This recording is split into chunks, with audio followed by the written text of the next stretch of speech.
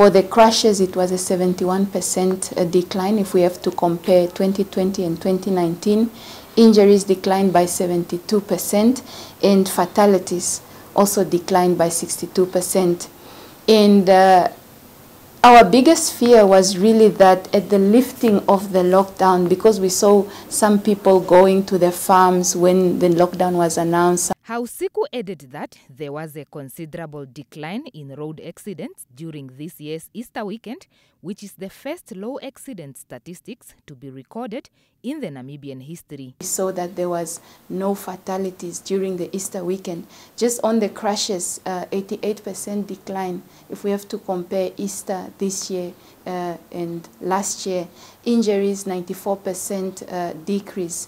2020 uh, compared to 2019. So it's very encouraging. It shows us something.